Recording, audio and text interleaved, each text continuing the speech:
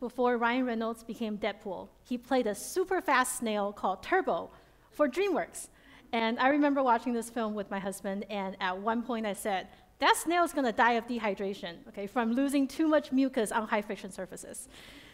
He looked at me like I was crazy and he said, uh, Snail's got a radio in its mouth and a car alarm in its shell, and this is what you're complaining about?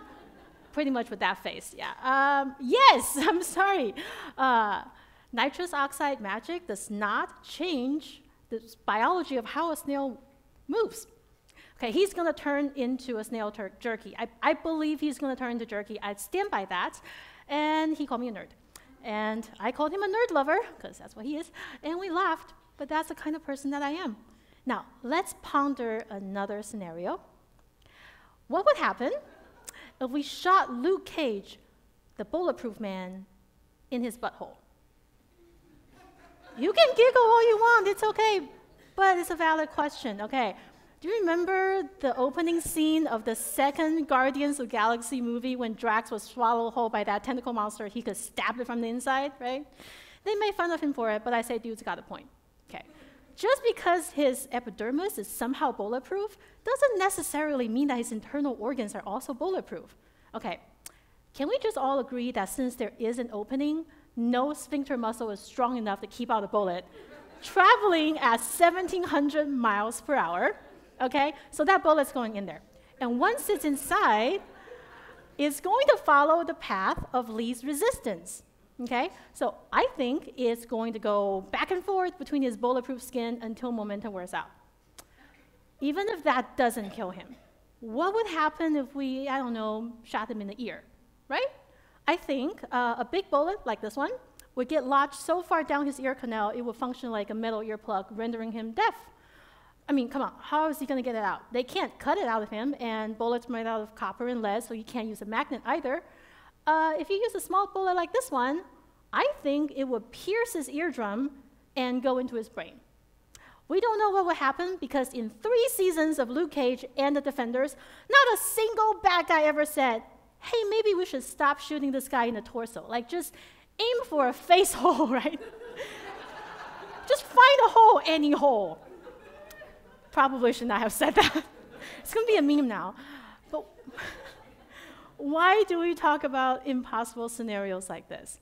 What if we discuss this question in anatomy class?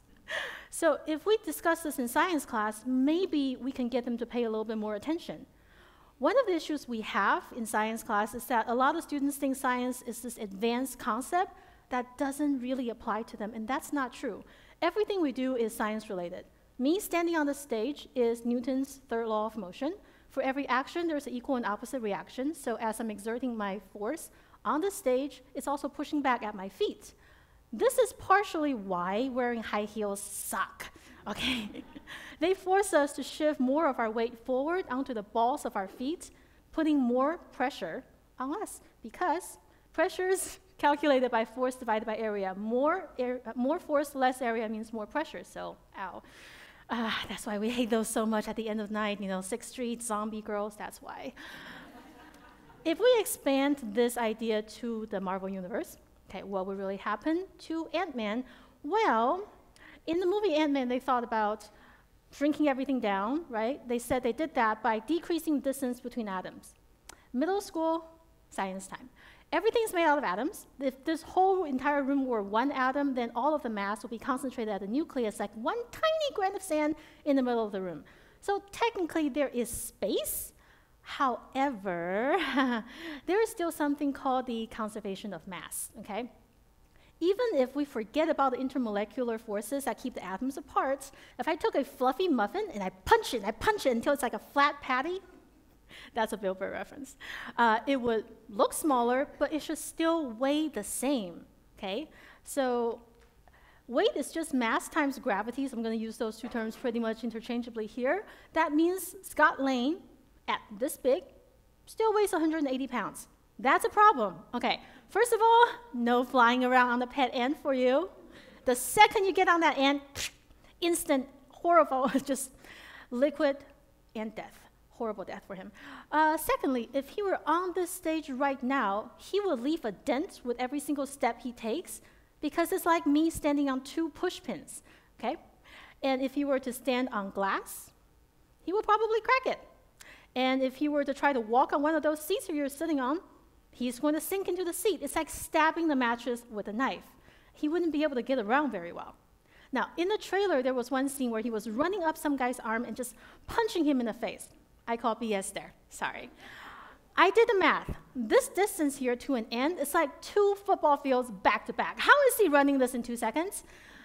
How many of you can actually hold up 180 pounds like this? Right? So he should be climbing that arm, pulling out arm here as he goes, and leaving bloody footprints with every single step that he takes. Fine, he gets onto the shoulder, jumps onto the chin, and just punches down. You know what will happen? Nothing. Okay, this is why it will look like this because his body is only this big. Okay, the skin on my chin is thicker than the height of his entire body. If he were to punch me, he wouldn't even hit bone. Okay, he would just make a tiny, tiny hole like being poked by a little needle. I don't know how to break this to you guys. Sometimes size matters, no matter what you've heard. he would make a really good pimple popper, that's what I'm saying. It wouldn't really have any kind of effect on me. He's like a tattoo needle, really, that's it. Second movie, Ant-Man and the Wasp, I'm sorry. Uh, no wasp wing can create enough lift to keep a human airborne. I don't care what kind of diet she's on, okay, not happening. They also shrunk down a building to the size of like luggage and threw it around. Okay, come on. Is everything in that building Velcro down? Isn't that some kind of expensive lab with like glass equipment? All of your machines are going to have to be recalibrated. Okay, this is called Newton's first law of motion, inertia. Okay? So everything in motion stays in motion, and everything at rest stays at rest. And that's why earthquakes cause so much damage. And unfortunately, for this building here, everything's going to get broken in there. But you don't really need to understand advanced science to ask the question Does this building not have a bathroom? Basic plumbing? Did you nail the toilet seat down, or are you going to come back to poop on the ceiling? I mean, stop shaking the building. it's not going to work. What about that car chase? How fast a car goes depends on how big wheels are, and also RPM, revolution per minute. Revolution per minute does not change just because you shrink down. Okay, that means there would be no car chase because the wheels are tiny now. What about that other scene of the girl who is intangible and couldn't touch a teddy bear? Oh, you're sitting on the bed though. Girl, is your butt not intangible? There's actually a video game that designed an intangible character, and that character just kept sinking through floors of a building. I thought that was hilarious, but every power has its problems. So if you were able to fly, if you fly too low, you would be running into birds, wires, signs, bugs, buildings. Now, if you fly too high, however, there is something called the ideal gas law. So as pressure goes down, temperature also goes down. You're going to be freezing. Another thing is that if you fly up too quickly, you change pressure too quickly, you could die from diver's disease. It's called decompression sickness. Okay, Thor's not going to die because he's a god. Jane would be dead for sure. When he takes her up, he doesn't even wrap her up in a snuggie first. Okay, that's just inconsiderate boyfriend behavior. Okay, now if you're trying to save a girl from being hit by a bullet by super speed, I got bad news for you. I'm sorry. Inertia and work again. He's he's not going to be able to save the girl, okay? She's going to be a bag of broken bones and ruptured organs by the time you're done with her. I hope you have a good lawyer because, yeah, she's not going to survive that because you just hit her with something that weighs way more than a bullet and a much higher speed. Rest in peace. Now, if you were able to freeze time, you would freeze yourself because the heat in the air comes from the friction of molecules rubbing against each other. No motion, no heat. Enjoy the cold. If you're invisible, that means light is not bouncing off of you for people to see, but that also means that your eyes are not catching that light either to interpret into an image. So when you're invisible, you're also blind. I know, I'm just crushing dreams left and right.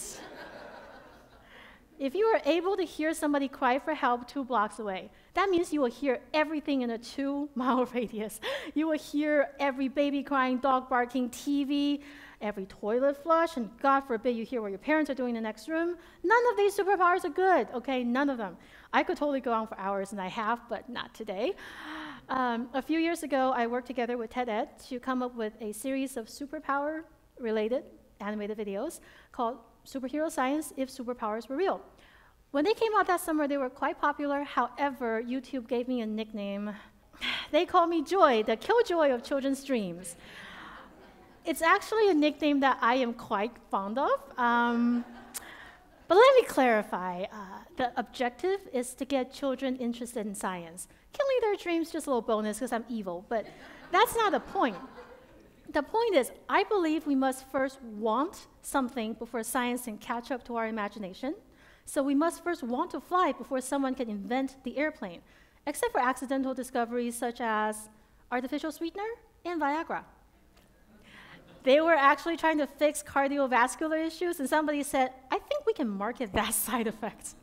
But most of the time, that's not the order of things go, okay? You have to first want it, and then you fix it. Uh, so I've been giving this talk at Comic Cons all over the United States, and yes, I totally cosplay. I'm a geek. So there I am with my husband as Archer and Alana, and then Lady Deathstrike, Chun-Li, and of course, Supergirl at San Diego Comic Con. So at the end of my panels, sometimes some people will come up to me and just very passionately argue on what would really happen if we had superpowers. And what I always tell them is, you could be right. We don't know, because that universe doesn't really exist, right? none of the questions I've asked tonight has any kind of like definitive answer. But the fact that we're talking about it now, this conversation is the point. So maybe some kid's gonna hate that I said Turbo's gonna die, get interested in biology and cure cancer. Maybe somebody's gonna hate that I made flying lame and then invent the magic carpet. So when I'm old and gray, I can use it. That means you can use it too, all because we gathered one afternoon to discuss how Thor's gonna kill Jane because he's an inconsiderate boyfriend. You're welcome. That's how it works. So I'm going to end this talk by asking a question that I always ask at Comic Cons. Do you think Wolverine, with his power to regenerate, might be circumcised?